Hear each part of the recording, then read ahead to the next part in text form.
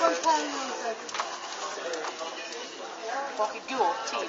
Ja, vi kommer till, till mig. Jag tror du tittar på mig lite.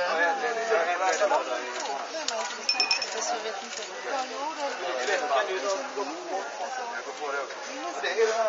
Jag hittade den. Nähä. Om typ växande drömmar. Hjälte. En av, en av världens mest sålda barnböcker är det Lille Ja, ja, Prins. ja. jo, ja. Den Lille Prins. Men titta på den. Och på hans illustrationer där.